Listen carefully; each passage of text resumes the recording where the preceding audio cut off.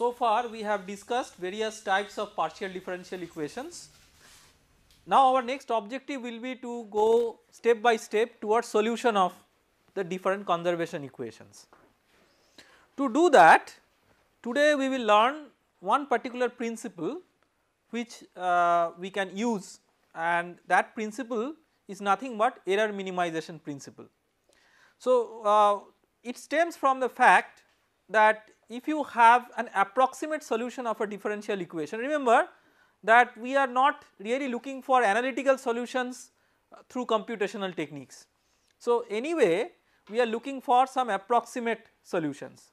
So, when we have an approximate solution the approximate solution will involve or incur certain errors and a very good approximate solution will be that one which in some way tries to minimize the error and that is why error minimization happens to be one of the key principles based on which many of the numerical methods are founded.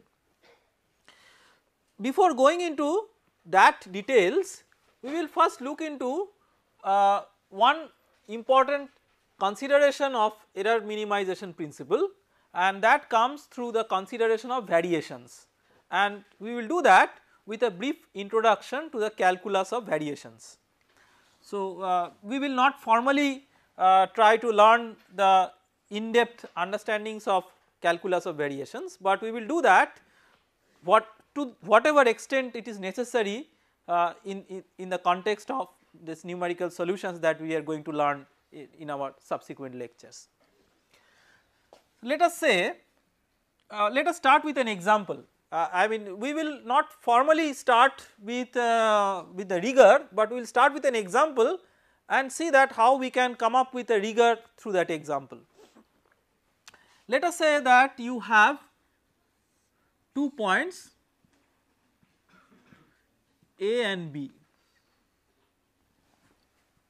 These are two points. The objective is to find out a path that is the least distance between A and B. So, you can go from A to B in various ways this may be one path, this may be another path and of course, all of us know that the straight line path is the shortest path. But how we can formally pose this problem? So, let us say that this is a xy plane so, you have this as x axis and this as y axis and let us say that we are interested about the total length from A to B.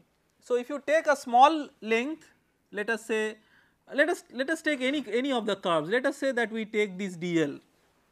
So, once we take this dl let us say that we are interested to find out the integral of the dl from A to B which gives the total length.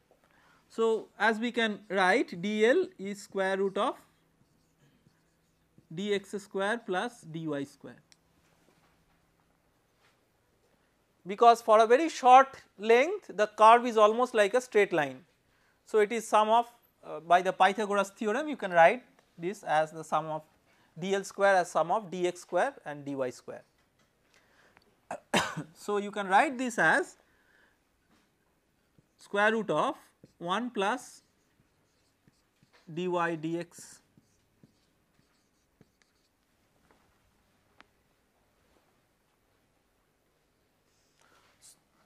So, we use the short notation like y dash equivalent to dy dx, y double dash is equivalent to d square y dx square like that. These are the sorts of notation that we will be using which are anyway common notations in calculus. So, our objective is to first find out what is the total length that is integral of dl which is integral of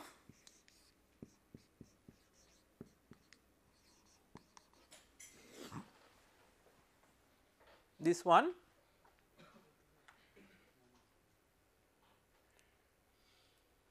and the problem statement therefore becomes find the path AB that minimizes L. That is the formal problem statement. Or that means here equivalently it minimizes this integral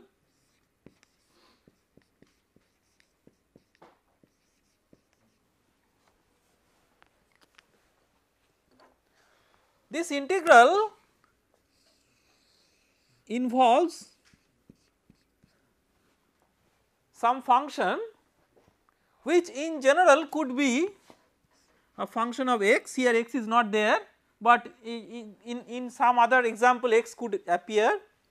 It could involve y it could involve y dash and it could involve even higher order derivatives. But let us just consider the case where this function itself could be a function of x, y, y dash out of which x is the independent variable.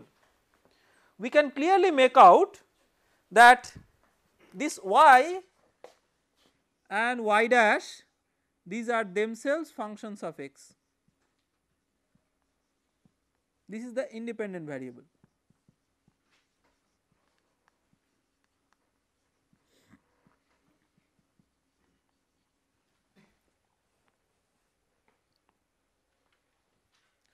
Thus, capital F is a special type of a function which involves other functions. So, it is a function of some function because it is a function of y or y prime which are themselves functions of x. So, these types of functions which are themselves functions of other functions these are called as functionals. So, this is a functional In a simple way it is equivalent to function of a function. Of course, one can give a more formal definition to a functional, but let us try to just understand it in a simple way. So, what is our objective? Our objective is to minimize this integral i. So, let us now try to formalize the problem through this example and say that minimize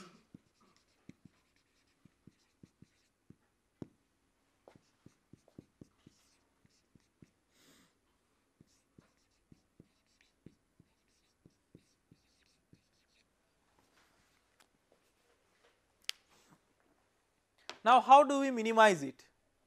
There are different ways in which one can do. So here what we will do is we will take a first order variation which we will symbolize as delta on i. So what is this delta? This is like an arbitrarily small virtual change in i just like you have a similar concept in in terms of virtual work in mechanics that you have a virtual displacement that is a displacement which is not really taking place, but it could have been allowed consistent with the constraints of the physical system. So, similarly this is a virtual change in i which we symbolize as delta i. So, how can we write this? Remember f is a function of these variables out of which we can have virtual changes in only dependent variables. We cannot have virtual changes in independent variables because let us try to understand this carefully. You are changing x and that is that is really a differential change by which you are going from a to b. So, dx dx dx in this way. So, for each and every change in x you could have different possibilities with changes in y. So, your y could be this, it could even be this, it could even be this for a given x. So, if your actual path is the straight line, any other path is the actual path plus a variation in the actual path. So, if this is your correct y, then you can call this as an equivalent delta y if this is small. So, you are having a small y possible. And if you mean if you if you now account for the fact that this is a variation over the actual solution you can minimize this one and come to the actual solution which is the straight line path. So you can have variations over y. Similarly you can have variations over y prime. But you cannot have these variations over x because x is the independent variable. You are changing x as per your wish and then seeing what is the corresponding variations in y and y prime. So keeping that in mind you can write this as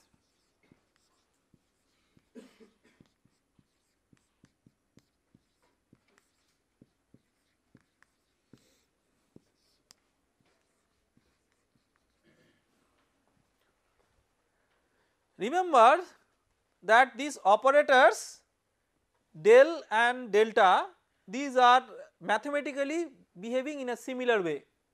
So, in fact d, del, delta all those mathematically behave in a similar way they are conceptually different just like d is the exact differential this del is the partial derivative and this delta is a virtual change. So, these have different physical meanings but mathematically these may be uh, these may be treated in a in a similar way.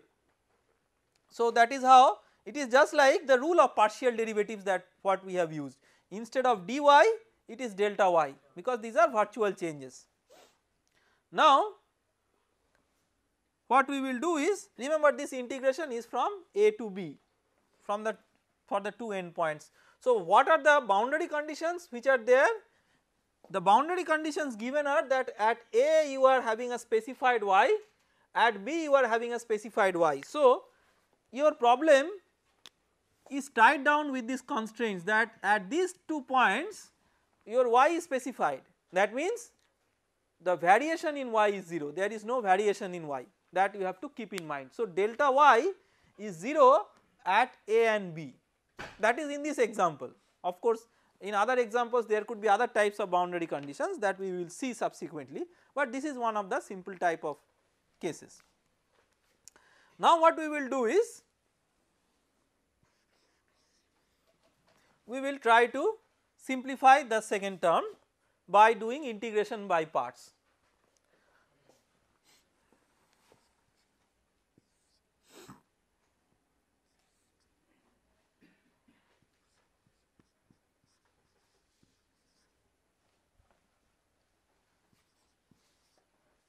This is the first term and then for the second one we will consider one as something as the first function and something as the second function. So first function should be such for which you will calculate the derivative and second function which you will integrate. So this is the first function this is the second function because from here we want to bring down from y prime to y so, we want to reduce one order of derivative and that is why this is the second function. So, let us write that first function into integral of the second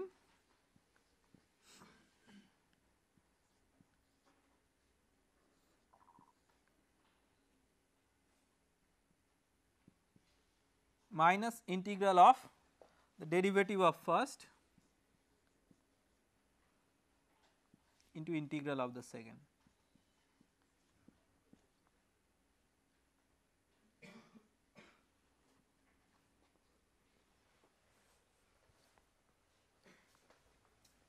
sorry into delta y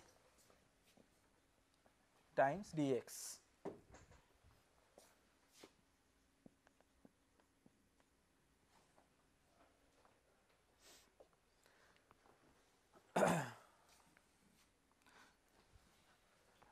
So, you can see from this example that this d and delta they are sort of commutative. So, it is delta of dy dx. So, that you can write as as if d of delta y delta x like that. So, you can interchange d and delta that is that is very much possible. Now next what we will do is we will use the boundary condition. So, we are minimizing this subject to what constraint or boundary condition?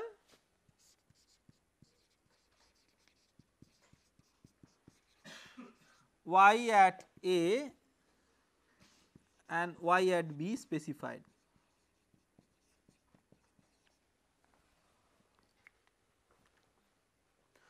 Since y at A and B are specified, you have delta y at A and delta y at B equal to 0. So, this term will be 0. So, you are left with what? You are left with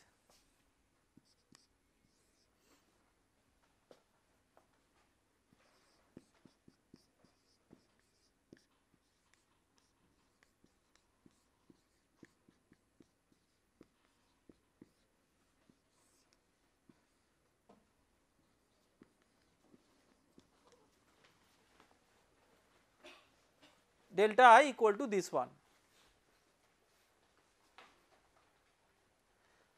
And for minimum i, it could also be for maximum i whatever we generally can say that for extremization of i it could be either maximization or minimization you must have delta i equal to 0. Now delta i equal to 0 and that has to be true for any arbitrary delta i equal to 0 has to be true for any arbitrary delta y. When is it possible? It is possible only when the integrand itself is 0. Otherwise it is not true for any any arbitrary choice of this delta y. So, for minimization of i you must have delta i equal to 0 that means essentially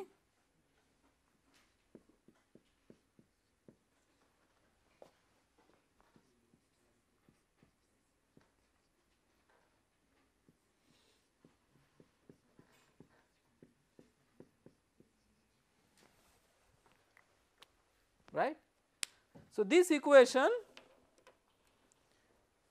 is known as one of the con constraining conditions for extremization of this functional and integ integral of this functional and this is known as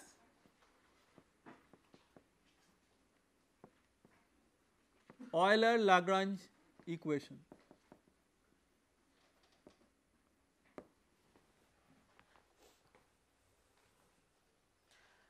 Let us try to apply this Euler Lagrange equation for the minimization of the distance between the two points this example.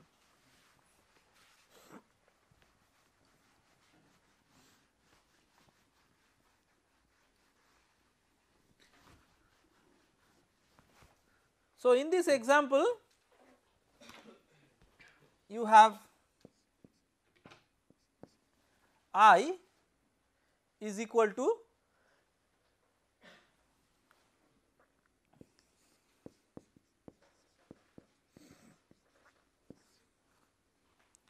that means f is equal to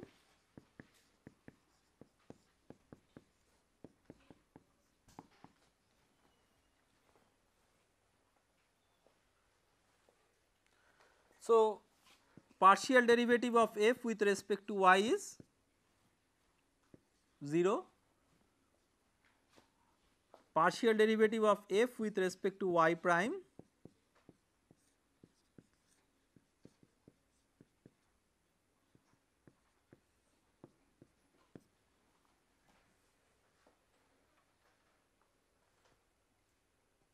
and essentially the Euler Lagrange equation for this case will imply that you have d dx of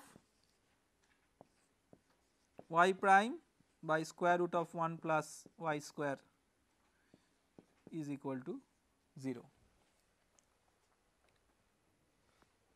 because the second term is only there the first term is trivially 0. So, the second term is 0 that will mean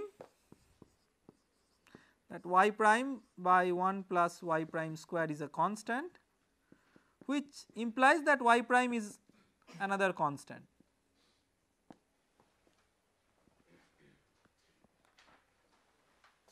So, let us say that is c that means dy dx equal to c that shows that the path is a straight line because straight line is a path for which dy dx is a constant. So, with this background let us try to maybe work out one or two additional problems to illustrate the use of similar principles.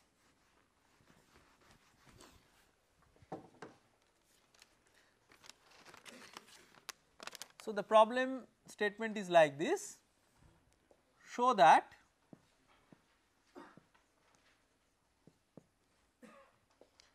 an alternative form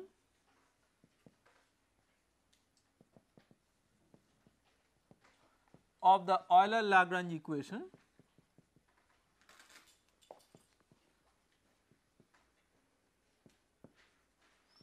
is given by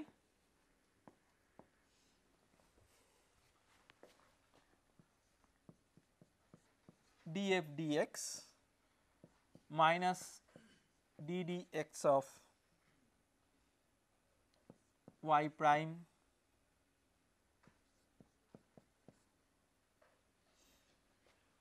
d del f del y prime minus del f del x equal to 0. We have another part of the problem, but that we will state after we complete this part. Where f is a function of x y y prime.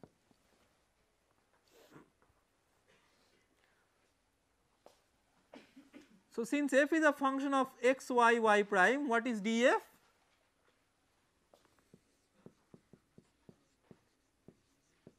we can use the rule of partial derivatives.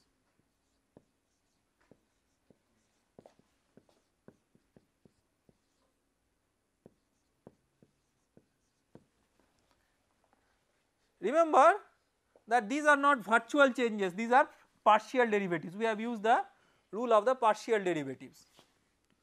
So, what is df dx?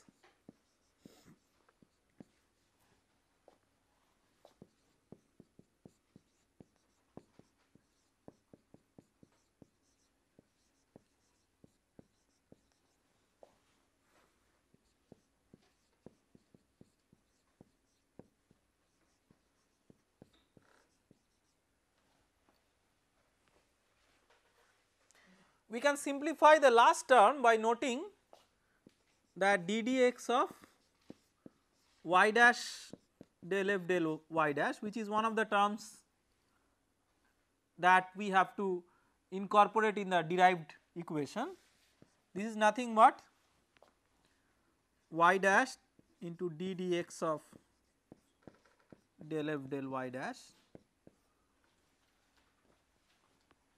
plus dy dash dx into del f del y dash which implies that dy dash dx into del f del y dash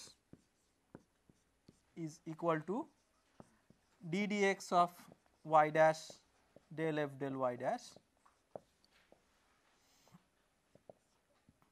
minus y dash d dx of del f del y dash.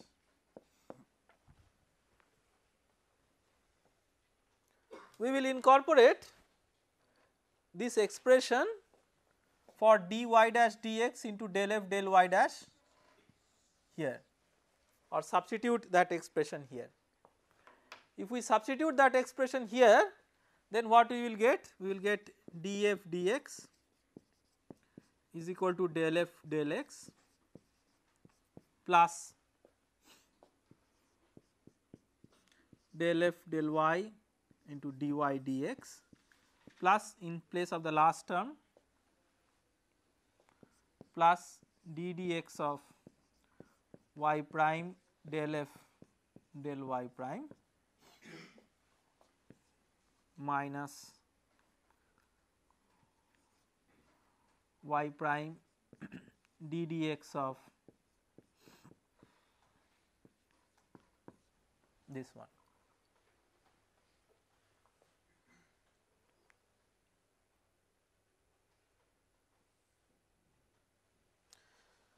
We also have to keep in mind that this dy dx is nothing but y prime. So, we can club up these two terms and write that this is nothing but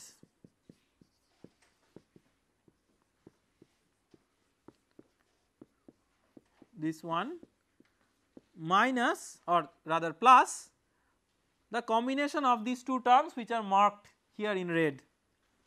So, plus y prime into del f del y minus d dx of del f del y dash.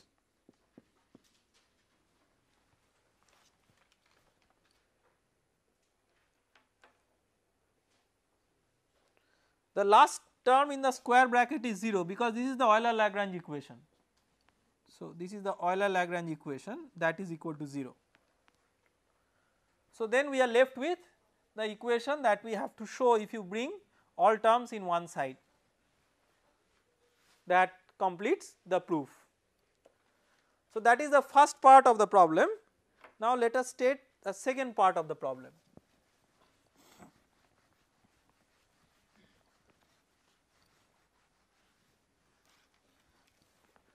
The second part of the problem is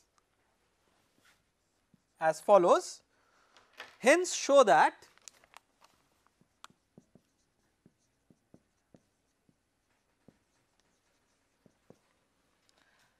the closed curve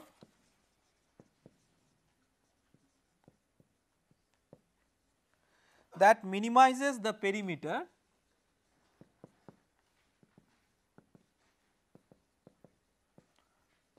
the perimeter for a given area is a circle.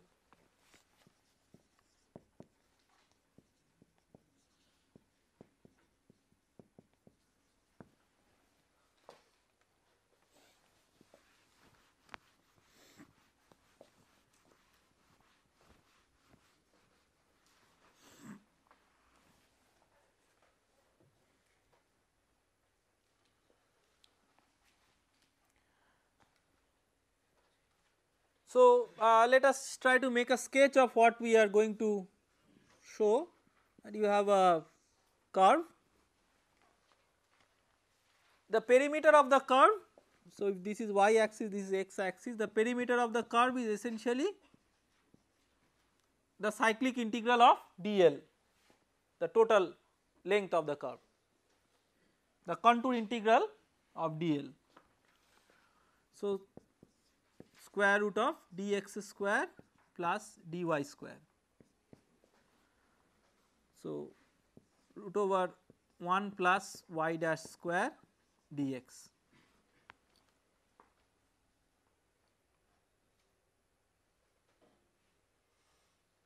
So, you have to minimize this with a constraint. What is the constraint? The constraint is that the area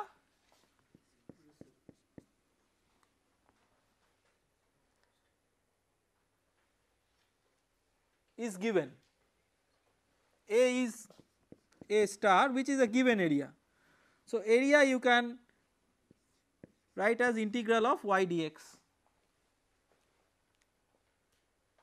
Because if you take a small element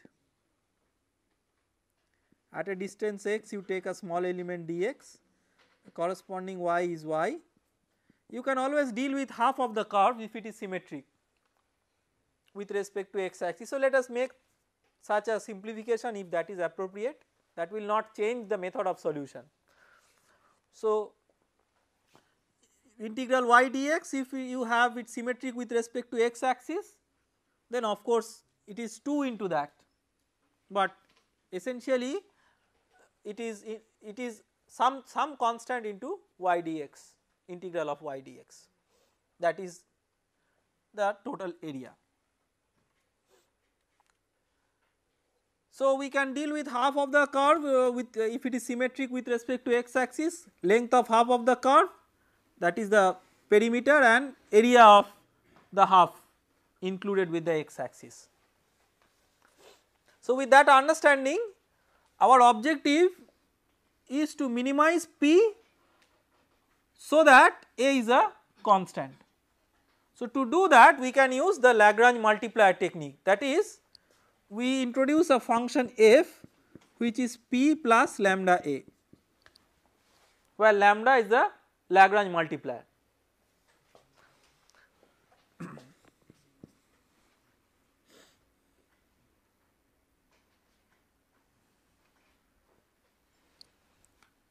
or we can call it i because we want to extremize the integral i that is the notation that we had used by this time.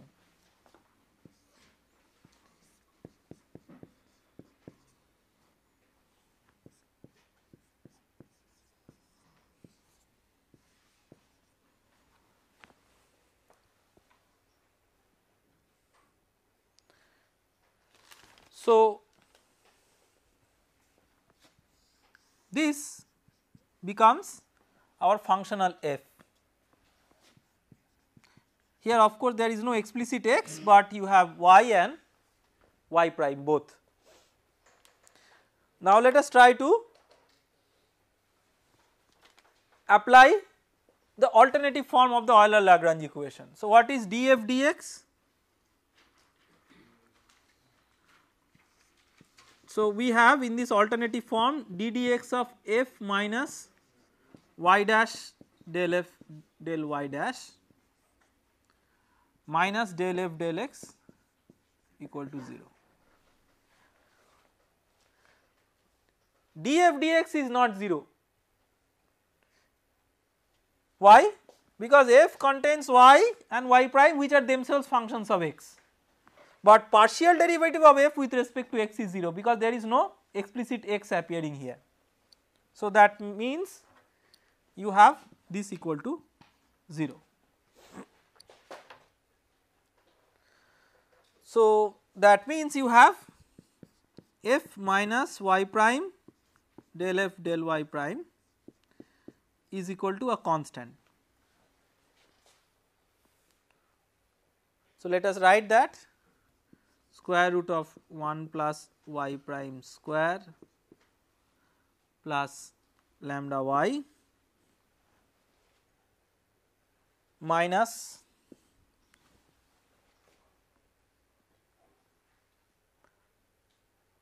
y prime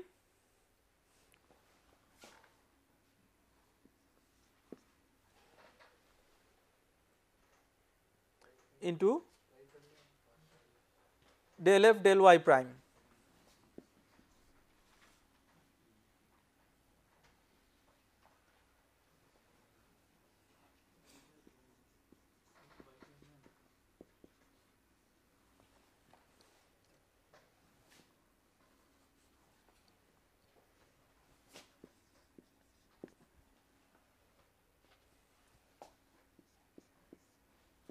This is all right.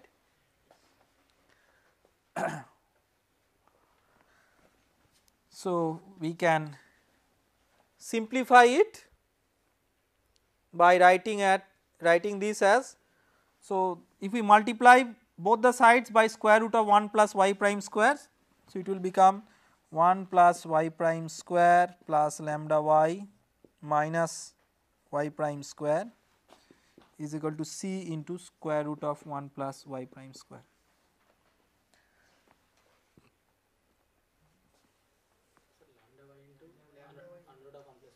lambda y into into square root of 1 plus y prime square.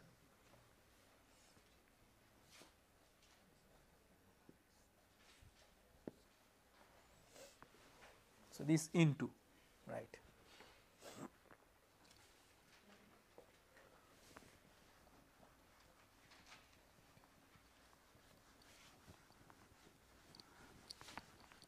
Then the remaining part is the mathematical simplification. So, we can write 1 is equal to C minus lambda y into 1 plus y prime square.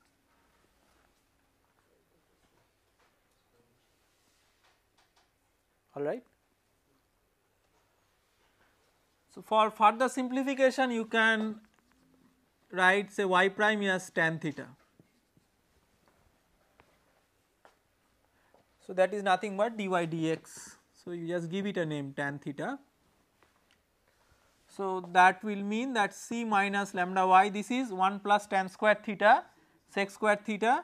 So, that will go in the other side will become cos theta.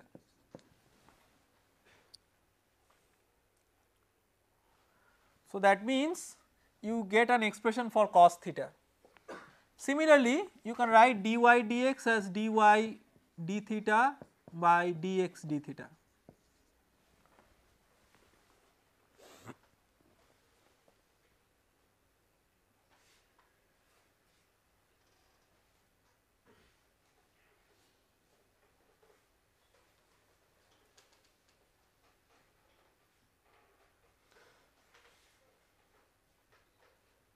So, from here you will get an expression for cos theta.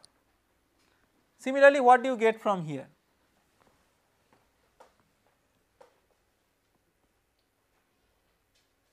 So, dy d theta you can write dy d theta is minus 1 by lambda or cos theta. So, that minus and this minus will cancel. So, dy d theta will be 1 by lambda sin theta.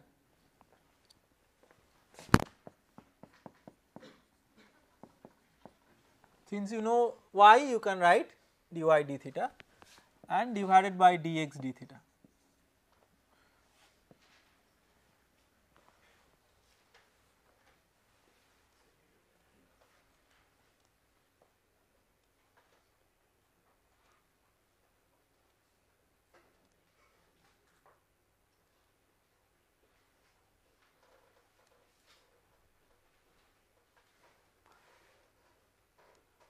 So, you can get an expression for sin theta, you can get an expression for cos theta and you can eliminate those by writing sin square theta plus cos square theta equal to 1. You, you can you will involve x also, well, how can you involve x?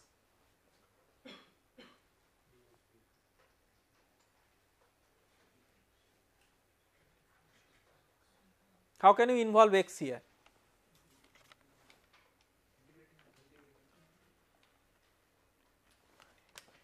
Which one will you integrate? Yes?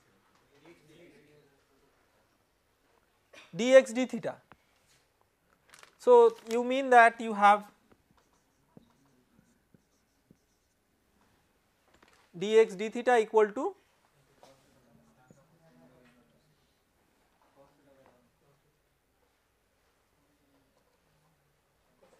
So, this will become this is sin theta by cos theta right. So, cos theta by lambda. So, from here you will get an expression involving x. So, what will you get? x equal to sin theta by lambda plus some c1. Now, let us see so, you have cos theta is equal to c minus lambda y sin theta equal to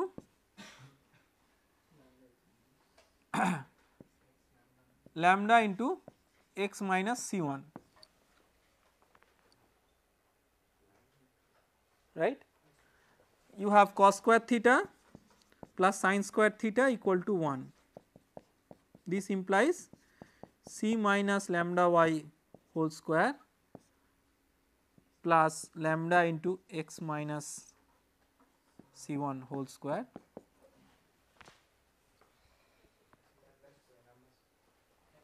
lambda square right into x minus c1 whole square is equal to 1.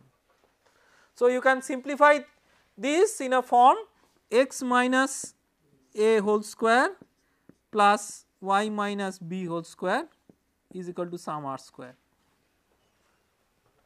Is it possible to write it in this way?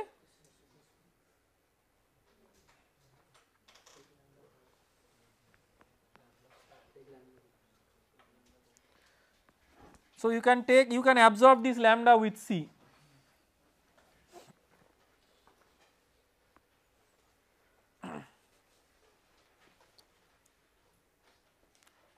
Okay. Now, till now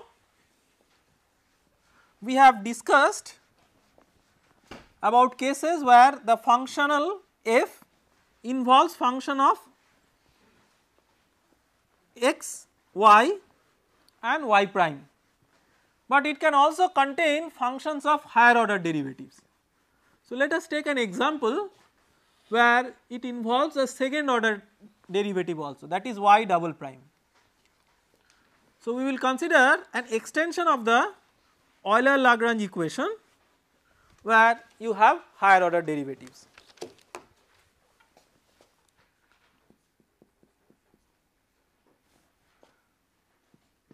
Functionals involving higher order derivatives.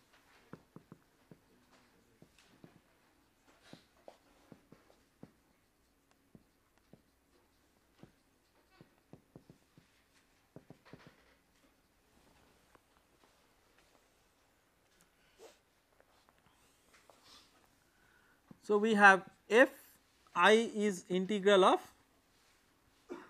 f x y y prime say y double prime dx.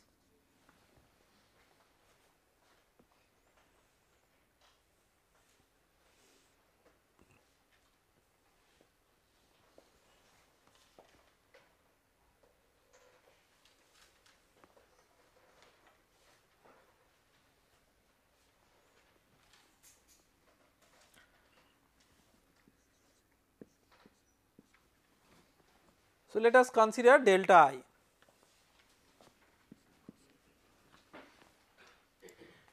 Sometimes in this delta notation if one is interested to write it more rigorously one may use superscript 1 to indicate that it is a first order variation because there could be even higher order variations that one can apply. But we will omit this superscript and usually write delta i.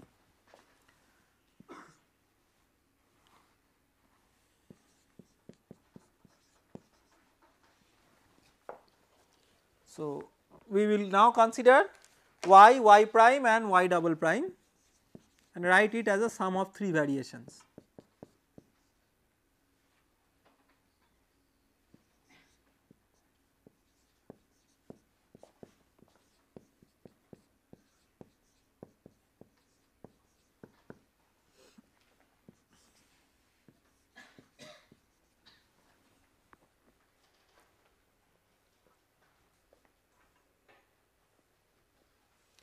Now, we will do exactly the same thing what we do what we did while deriving the Euler Lagrange equation. The policy will be reduce the orders of the highest order derivative.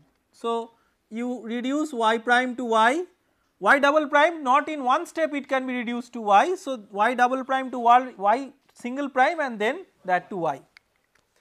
So, to do that uh, let us let us consider this term. So, this will be we will do integration by parts this is the first function, this is the second function.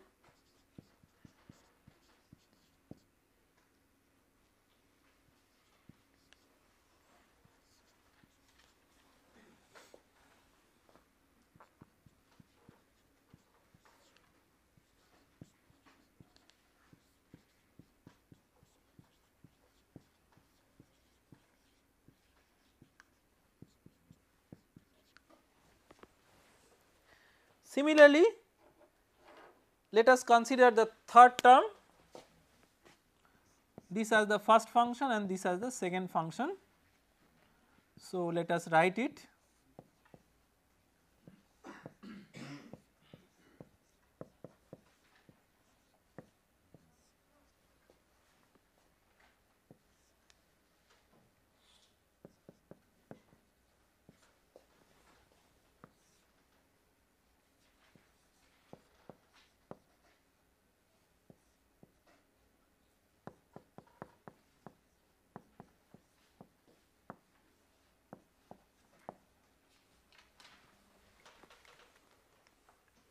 So, we have been successful in reducing the derivative by one order.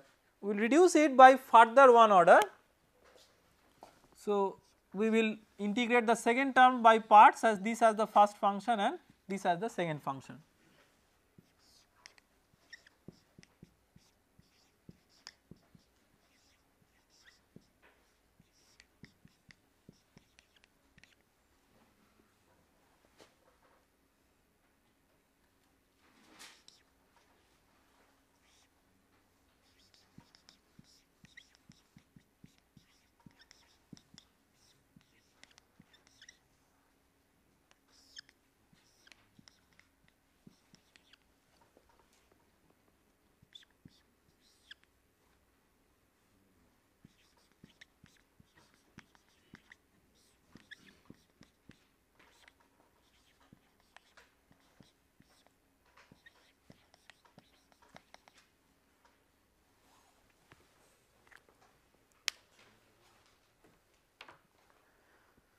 So, we have simplified this one and we have we will now pay attention to some important terms. The important terms are first the boundary terms. You see this is one boundary term and these are the other boundary terms. These boundary terms are identically 0 when when delta y and delta y prime are 0. That means y and y prime are both specified at the points a and b. So, let us assume that that is the case if y, y prime are specified at a and b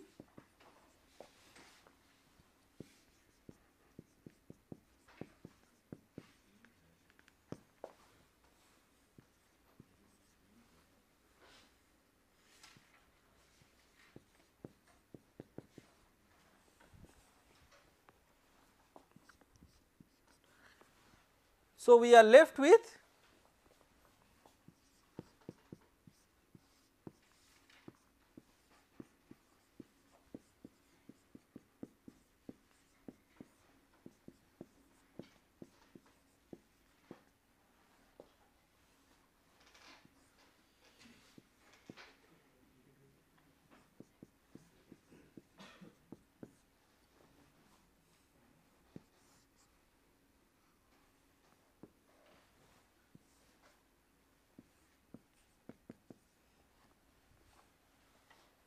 or since delta y is arbitrary there is of course one dx.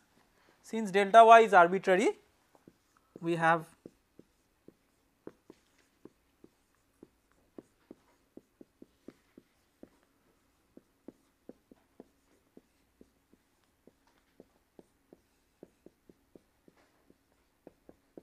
this equal to 0. So, if you have even a higher order derivative now you can get the parity. So, first order derivative minus sign, second order derivative plus sign, again a minus sign will come, again a plus sign will come. In this way depending on the number of higher order derivatives you will get the additional number of terms. So, that generalized equation is known as Euler-Poisson equation just like the equation up to the first order derivative in y is Euler-Lagrange equation that is called as Euler-Poisson equation. So, uh, our objective is not to go into the very very general form, but at least to appreciate that if there are higher order derivatives it is possible to incorporate that in the framework by going through a very similar exercise that we do even for the first order derivative cases. Okay. Now, we have seen that how we can make a formulation of a problem through a variational statement but we are not interested in any arbitrary problem, we are interested in solving differential equations or in particular we are interested in approximate solutions of the differential equations through the variational formulation. So, our next agenda will be approximate solutions of differential equation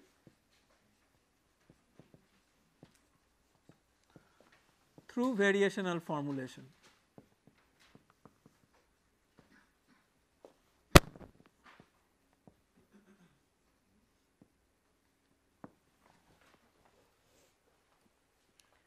To do that, let us take that example of uh, one dimensional steady state heat conduction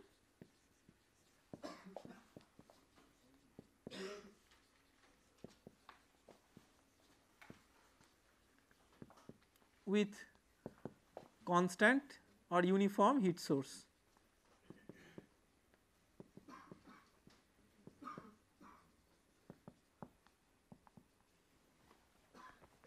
Let us write the general governing differential equation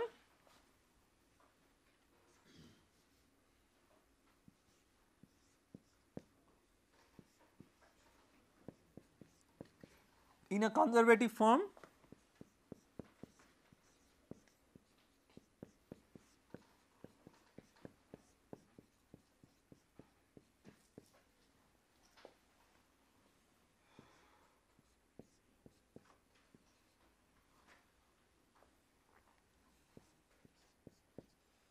Let us uh, make a further simplification that not only it is a one dimensional steady state heat conduction with constant heat source, but all the thermal properties are constant like K is constant, Cp is constant with uh, co constant properties.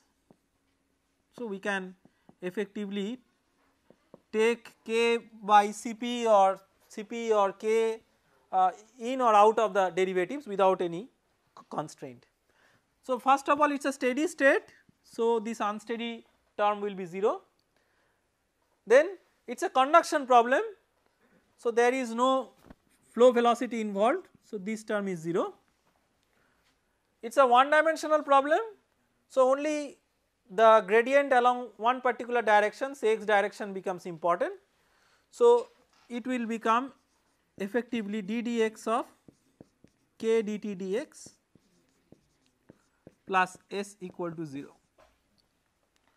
For generality what we do is we keep in mind that uh, of course we have taken an example with constant properties, but if even if k were a variable that can be easily incorporated in this framework. So, this equation is not just valid for constant k our example we have taken for constant k, but even for variable k we want it to be valid. So, that is why I have deliberately put k inside the derivative. So, what we will do now? We will make a variational formulation of this differential equation. This is known as the D form of the problem or the differential form of the problem, D form.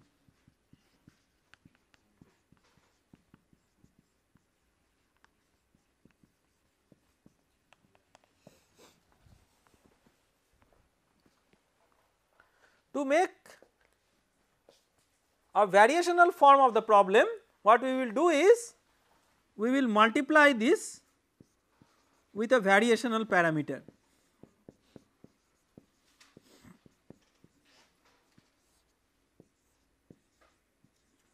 And integrate over the domain where this V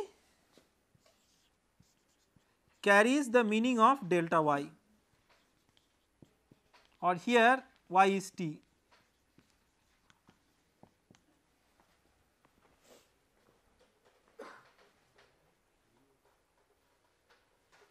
Okay. So, next what we will do, so this is the first step in the variational formulation. So, we have multiplied it with a variational parameter which sort of carries the meaning of variation in the dependent variable and integrate it over the domain and set it to 0. We will see subsequently that why we do it physically, but first let us try to understand the principle. So, next what we will do is we will integrate it by parts. Our objective will be to reduce the order of derivative for the t and eventually that will lead to increase in order of derivative for v. So, we will integrate it by parts with which as the first function you have this as one function and v as another function. So, which is the first function? v is the first function. So, second function is the one for which order of derivative will be reduced. So, first function into integral of the second. So, k dt dx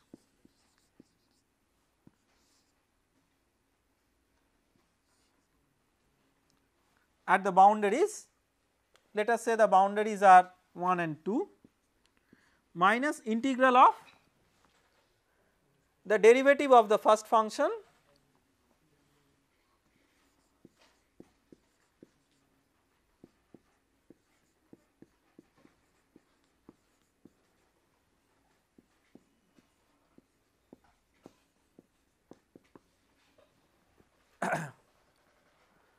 now what we can see that at the boundary if you want these terms to be specified how you can specify that?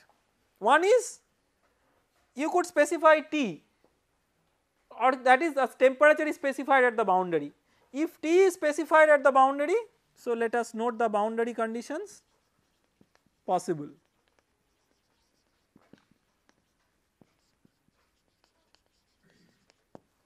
So, you could have T specified. If T is specified that will imply that delta T is equal to 0 or V equal to 0. You could have dt dx specified.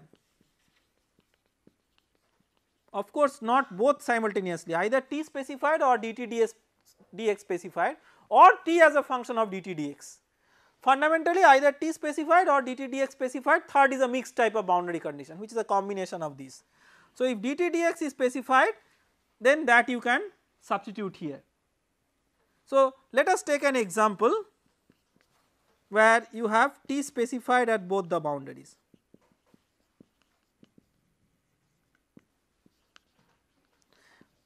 We start with this simple example so that the boundary term vanishes goes away totally. So, if that becomes 0 then you are left with integral of k dt dx dv dx dx is equal to integral of SV dx. So, this is a particular simplified form at which we arrive and what we will do is from the in the next class we will take it from here and see that how we can devise approximate solution techniques by using this variational form. We stop here for this class thank you.